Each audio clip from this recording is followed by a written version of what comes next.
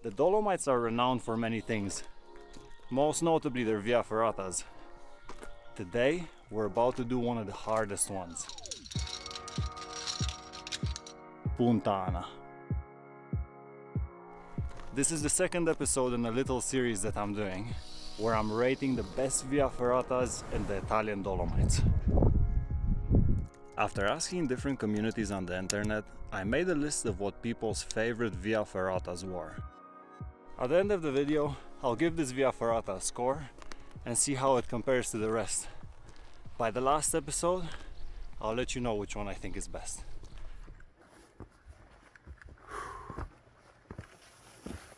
Sunrise! After learning about the Punta Anna Via Ferrata, it took me a while to understand what it actually is. So, Punta Anna is a 2,700 meter mountain, and the Via Ferrata that takes you there is actually called Giuseppe Olivieri.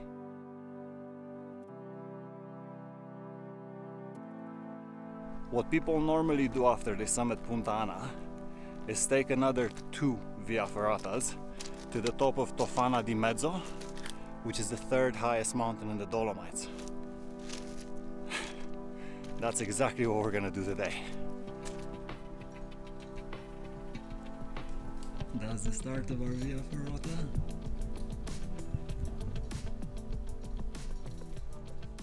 I'm always a little bit nervous before starting these things because there's been such a long time since I've been exposed to heights and usually the first one's a little bit.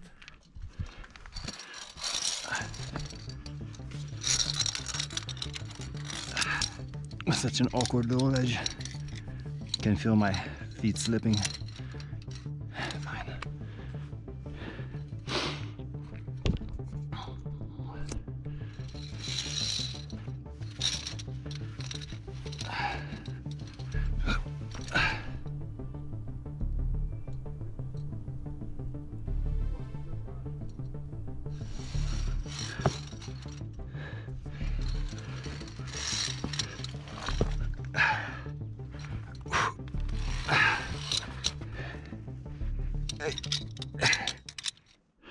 What a shot.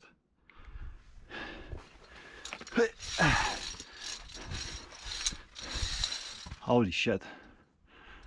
Wow. That's Tofana di Rozes. A little bit exposed that one.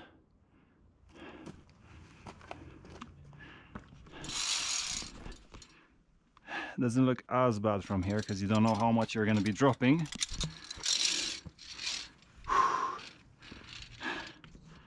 Now you know how much you would be dropping. Not a lot of footfall holds here.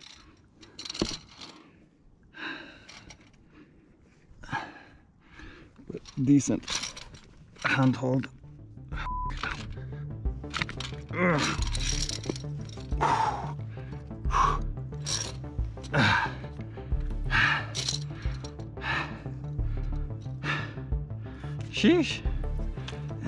To bend down for this thing.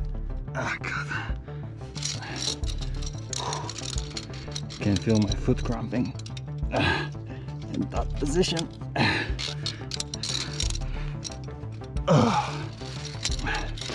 For anyone that had plantar fasciitis before, there was an awkward spot back then where I was holding on to, on such a little ledge with my foot and I could just feel the tear.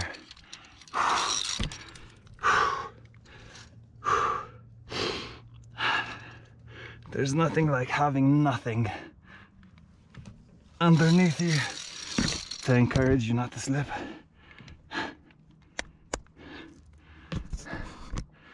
It's a nice feeling when you're high enough that you can see the cross on the top of Tofana. This one's a bit more challenging than I expected in a pleasant way. Yesterday I did the Ivano Dibona Via Ferrata, which is graded as 2B, I think. The one behind, Giovanni Lipella, that goes around Tofana di Rozes, is 4C. And Punta Anna is graded as 5C, I believe. And when I started it, I was like, this isn't anything special. Always speaking too soon. I think the main challenge so far has been not having good footholds.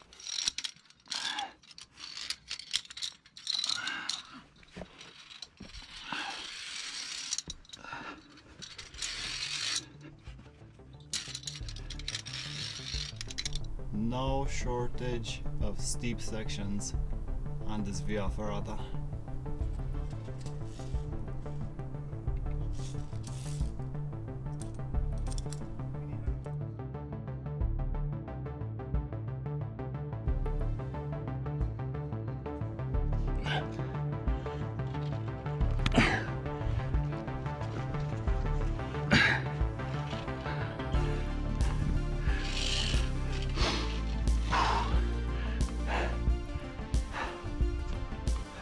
Nice. More Tofane. That must be Tofana di Mezzo. 3,200 and something meters.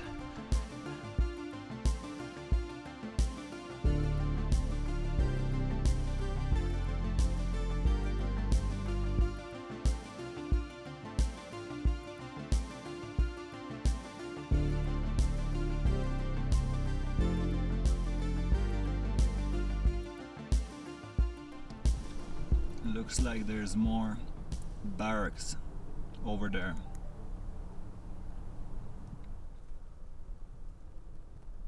Yesterday I bought a slice of pizza and it expired yesterday as well. But you know they say pizza's always better the next day. And it is. Damn. Even Conad pizza in Italy is good. One summit done, one more to go. Next via ferrata is Gianni Aglio.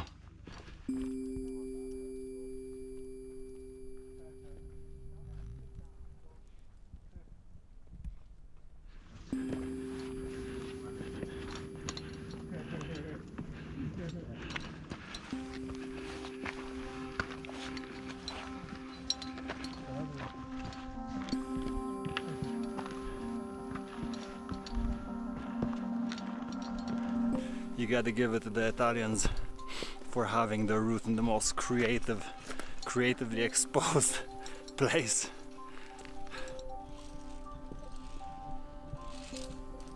That is just crazy.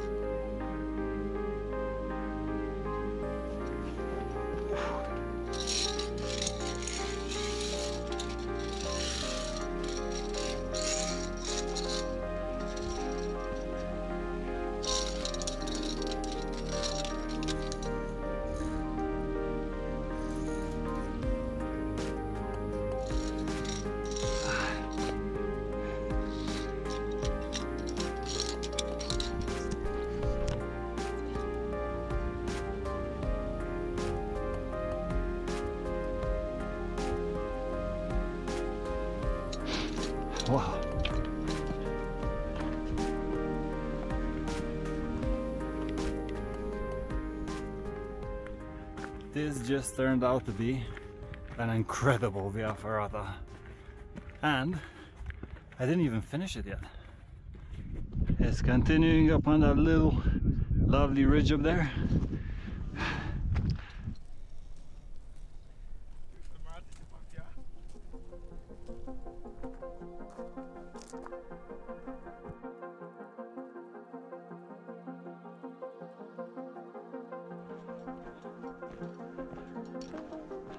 That is one big ladder.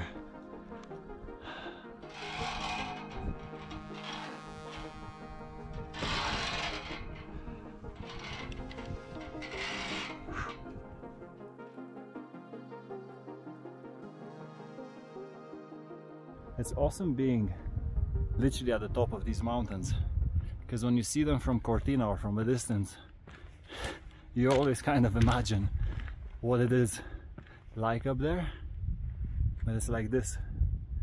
Really awesome land formations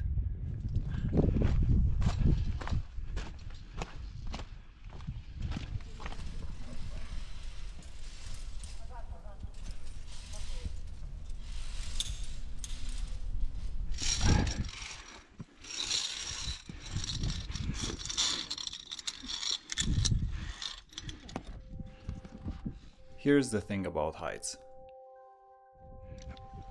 Like most fears, if you keep exposing yourself to it, you'll be fine. I haven't been around this type of exposure for a year. And it scared me.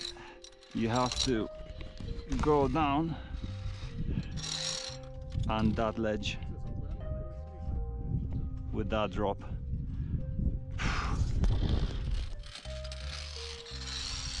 Woo! Big drop. Oh my god. Down. Don't look down indeed. Oh my god.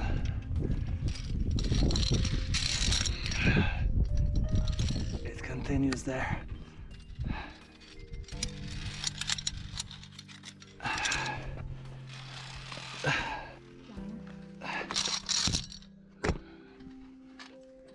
Take your time. Yeah.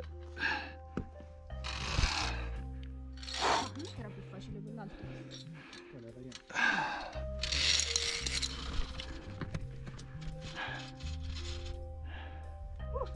Nice one. Well done. Yeah. Oh my days.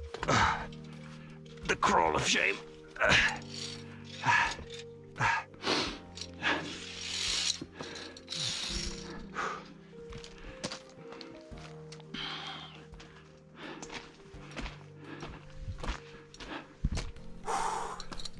I'm not gonna lie, that was pretty scary.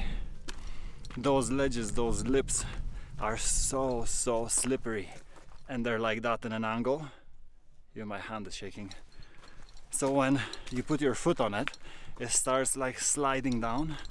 And my hands were sweating and I have bloody sunscreen still on them. So I was just sliding down on that bar as well.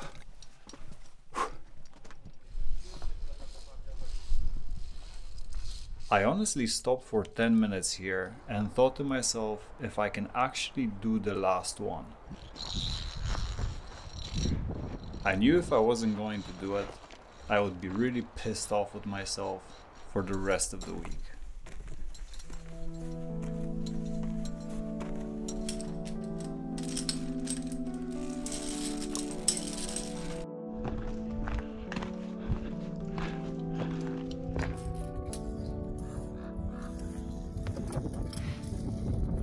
Final sections of climbing are about to begin.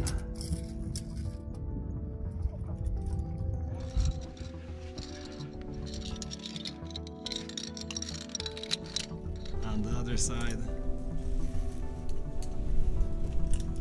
is a little section where they used to shoot from, the soldiers.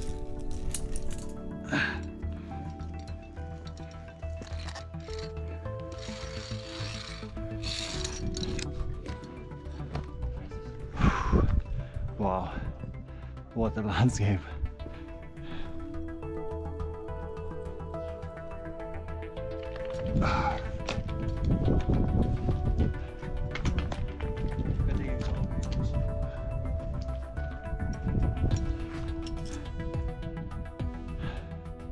Looks like that system's going to the summit.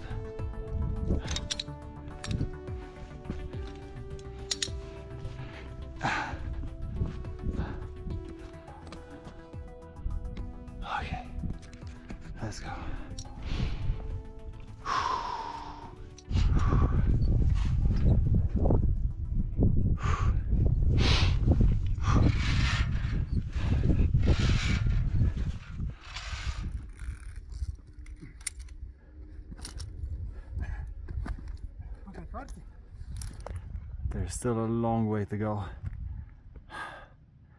to Tofana di Mezzo. Days like this are definitely testing.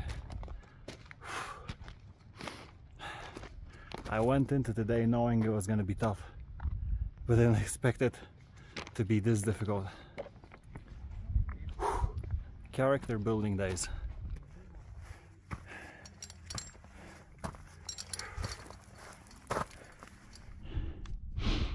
Lightning storms from like 2 p.m.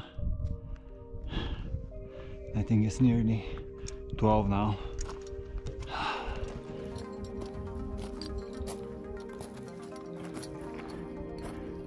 God damn it.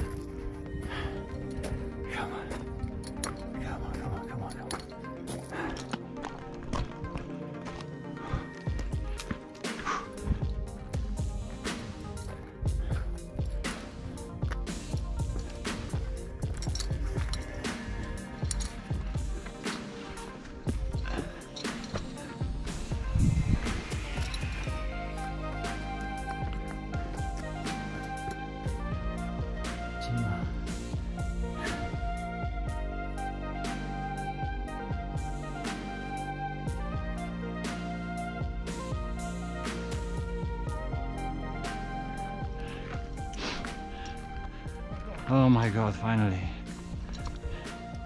Yes. Good job, Lorenzo. Thank you very much. Meet you, meet you. Nice one, nice one, guys. Well done. When did you get here? you got here very fast. Well done. My hands are either destroyed. Destroyed. Everybody's hands are destroyed.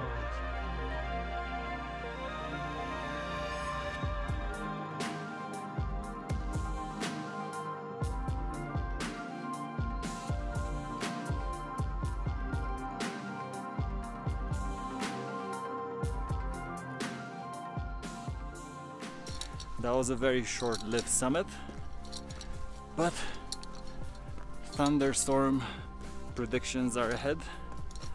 Don't think Viv would be very impressed with me pushing through.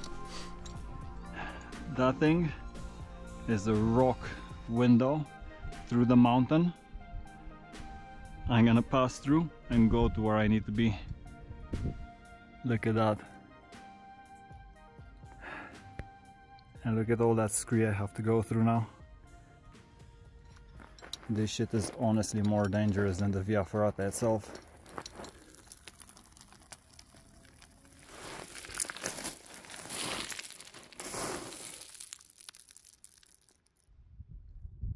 Ta-da! Here I come, car park. It's time for some difficult business. Time to rate this Via Ferrata. So there are four categories in total that we're gonna look at. History, views, fun slash enjoyment, and difficulty. Each one of these categories can get a max of 5 points and the total score can only be 20 points. So let's start with history. When we're looking at the history of it, we're looking if there was any battle over there, if there were any elements like trenches or World War One tunnels. This Via Ferrata didn't have a lot of that, but it did have like the odd like shooting spot or there were some barracks that I saw at some point. So I'm gonna give it a two out of five.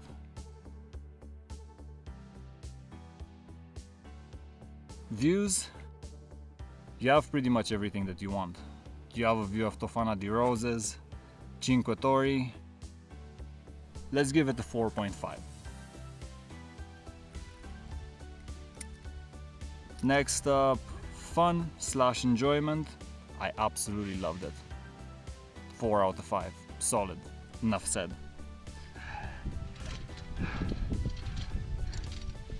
And last, difficulty. So I rambled so much that my battery died. The last point, the difficulty of the route. So here, hardest is best. And I gave this one a 4.5 out of 5. It's not the hardest Via Ferrata that I did, but the route is really long. Longer than I expected.